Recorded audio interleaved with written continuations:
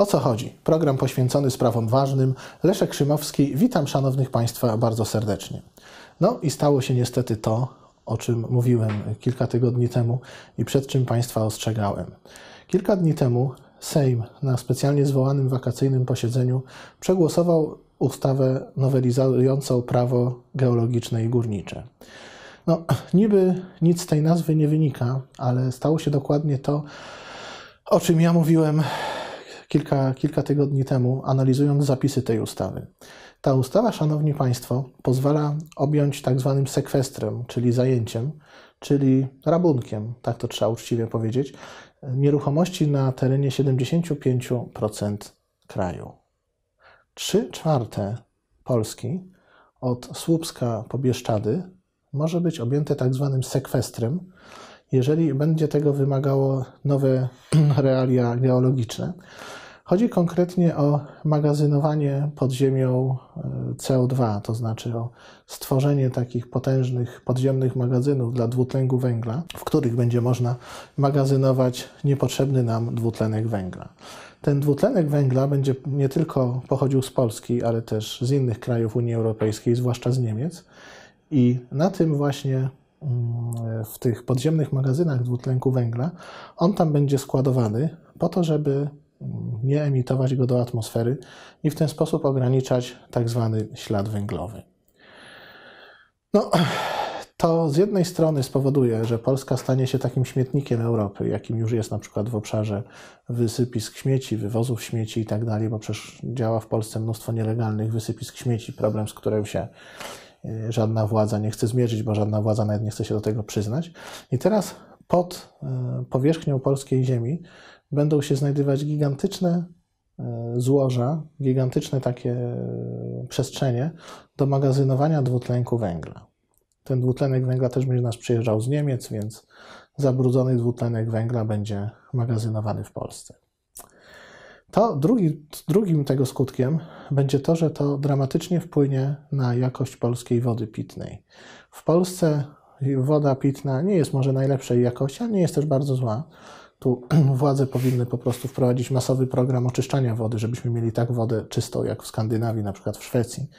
Przecież co by nie powiedzieć o Szwecji czy o Norwegii, to ta woda, która tam płynie w kranach jest naprawdę najlepszej jakości. To samo można by zrobić w Polsce, ale niestety to magazynie, magazynowanie tego CO2 w takich masowych ilościach spowoduje zniszczenie tej wody, bo dwutlenek węgla wejdzie w reakcję z wodą i tą wodę po prostu zanieczyści, będąc samemu zanieczyszczonym. To może spowodować, że pierwszy raz w dziejach Polski zacznie nam brakować wody. Proszę Państwa, żadne kroniki od czasów Mieszka I nie wspominają o tym, żeby w Polsce kiedykolwiek brakowało wody. Może się to stać pod rządami PiSu lub następców, którzy ten bałagan pisowski przejmą na siebie i będą musieli go posprzątać.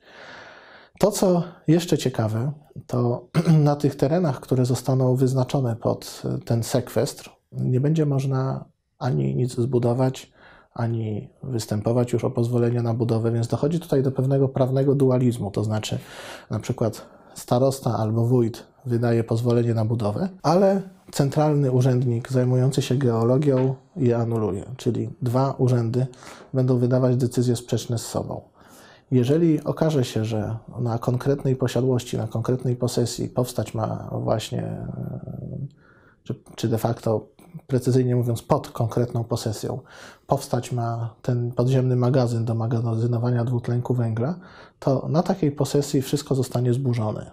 Czyli może się okazać, że jeżeli na przykład jakimś kaprysem urzędniczym, to pod państwa domem, pod państwa działką będzie taki magazyn, albo inaczej mówiąc, ta działka znajdzie się na terenie przeznaczonym na podziemne magazyny, to Państwo dostaniecie nakaz zburzenia swojego domu i uwaga, nie dostaniecie Państwo za to odszkodowania. Tym planem objętych zostanie, jak wspomniałem, 75% Polski.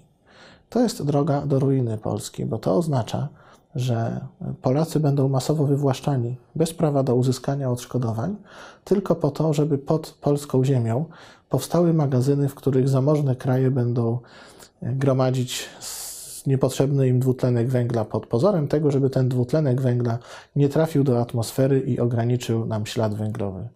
Coś nieprawdopodobnego, jak my strasznie daliśmy się upodlić. Muszę przyznać, że z takim poziomem upodlenia naszego narodu nie mieliśmy do czynienia w historii. Polski naród, dumny, wspaniały naród, którego potęga przez wieki zachwycała Europę, gdzie nawet władcy, e, książęta zjeżdżali do Krakowa, do Warszawy, żeby podziwiać to wspaniałe państwo.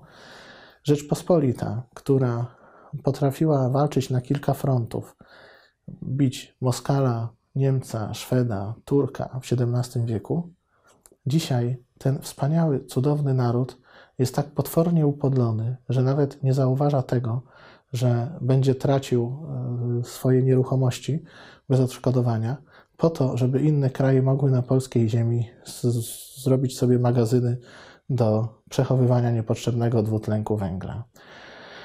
Ja zwracałem Państwu uwagę kiedyś, że autorką tej ustawy, która została przegłosowana, jest niejaka pani poseł Anna Paluch z Nowego Sącza, z Nowego Targu, z tamtych rejonów, która już wcześniej zasłynęła dziwacznym projektem ustawy ograniczającym farmy wiatrowe. No, warto by się przyjrzeć tutaj pani poseł Annie Paluch, czyje interesy ona reprezentuje, bo na pewno nie są to interesy polskie, bo proszę Państwa, ta ustawa to jest jedna z najbardziej obrzydliwych antypolskich ustaw. I ta ustawa stanie się prawem, bo została przegłosowana większością parlamentarną złożoną z partii, mówiącej o swoim patriotyzmie, przywiązanej do tradycji, do katolicyzmu itd., tak itd. Tak Przecież nawet tacy antypolscy politycy jak Bismarck nie wprowadzali tak potwornych ustaw. Przecież nawet w czasach Stalina, nawet w czasach, prawda, twardej komuny można sobie było wybudować dom na swojej ziemi i nikomu nie przychodziło do głowy to, żeby kogoś, żeby obywatela z takiego domu rugować pod pozorem tego, żeby mu e, działkę włączyć do jakiegoś planu zagospodarowania, prawda, podziemnych magazynów. Coś niebywałego. Ale ja, proszę Państwa, zwracam Państwa uwagę na jeszcze jedną rzecz. Otóż ta ustawa, ona stanie się kolejnym orężem rządzącej partii w walce z przeciwnikami politycznymi. No bo jakżeż można bardziej dotkliwie ukarać kogoś, kto sprzeciwia się władzy, kto protestuje przeciwko władzy, kto nie popiera tej władzy i daje temu wyraz, jeżeli nie na przykład w taki sposób, żeby jego posesję objąć właśnie takim planem sekwestracji. No bo co, Kowalski mówi, że mu się nie podoba rząd PiSu, no to rząd PiS mówi tak, nie podoba ci się, no to my ci zbudujemy, my wciągniemy twoją działkę na sekwestrację tak zwaną i y, na twojej działce y, będzie, czy pod twoją działką, pod ziemią, na terenie twojej działki będzie podziemny magazyn dla dwutlenku węgla. Wynoś się, oddaj działkę, oddaj swoją oddaj, prawda, owoce swojej ciężkiej pracy, może 40-letniej i wynoś się na śmietnik. Tak to będzie wyglądało. Takie są skutki tej ustawy. Także z bólem serca to do Państwa mówię, bo domyślam się, że e, spośród moich już prawie 40 tysięcy subskrybentów ogromna część mieszka właśnie na tych 75% E, przeznaczonych do, do, do tej sekwestracji.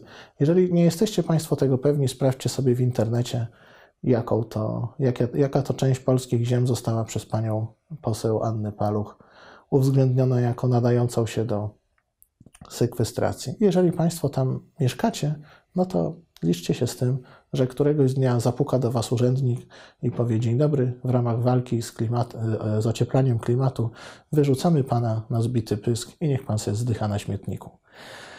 Coś strasznego. Proszę Państwa, przy tym, o czym mówię, afera, którą opisuję tu w książce, czyli afera FOS, to jest naprawdę małe piwo, ale warto tą książkę przeczytać, żeby zrozumieć aferę, która u podnóża, u progu III Rzeczpospolitej zbudowała takie, taką, można powiedzieć, finansową egzystencję dla wszystkich późniejszych liczących się partii politycznych. Dziękuję Państwu za subskrybowanie mojego kanału. Zbliżam się powoli do 40 tysięcy subskrybentów i bardzo chciałbym wkrótce ten próg przekroczyć. Dziękuję Państwu za subskrypcję. Bardzo Państwa proszę o dalsze udostępnianie moich materiałów, o komentowanie dla zasięgu, o lajki, o łapki w górę. A tym z Państwa, którzy chcieliby mnie wesprzeć, to zostawiam w opisie filmu y, możliwości, a więc numer rachunku bankowego, PayPala, y, link do patronata, do zrzutki. Będzie mi bardzo miło z powodu wszystkich form wsparcia, jakie od Państwa dostaję. Przypominam też, że w najbliższy czwartek y, spotykam się z Państwem w Rudzie Śląskiej. Detale znajdziecie Państwo w opisie filmu, a jeżeli chcielibyście Państwo, abym również przyjechał ze swoimi książkami do Państwa miejscowości, to bardzo proszę o kontakt z moją asystentką, której dane znajdziecie Państwo w opisie filmu. Do zobaczenia.